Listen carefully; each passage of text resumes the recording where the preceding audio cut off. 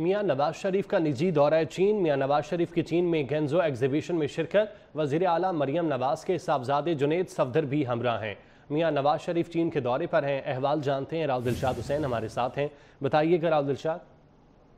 کلیسن قائد مسلم league نون محمد نواز شریف گزشتہ رات China China کی صدر ایئر لائن کے ذریعے گینگزو، لاہور سے روانہ ہوئے تھے۔ ان کے نواز سے جنید صفدر بھی ان کے ہمراہ تھے، تو آج پہنچنے کے بعد گینگسو میں ایگزیبیشن ہے، اس میں شرکت کے لیے پہنچے ہیں میاں نواز شریف اور اس کانفرنس میں بتایا جا رہا ہے، اس ایگزیبیشن میں کانفرنس بھی ہے، جہاں پر جو ہے وہ خطاب بھی کریں گے سرمایہ کاروں سے ملاقاتیں بھی کریں گے۔ مجموعی طور پر یہ جو ٹور ہے، یہ چار سے پانچ روز کا ہے، جس میں چائنا کی جو بڑی کمپنیز ہیں، خاص طور پر انفراسٹرکچر کے حوالے سے ان سے ملاقاتیں کریں گے۔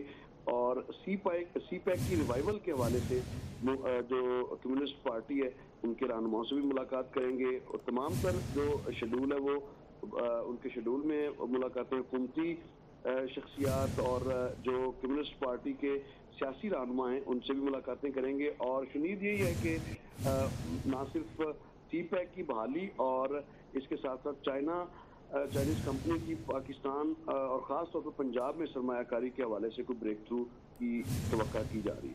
جی۔ بہت شکریہ راؤ دلشاد آپ کا۔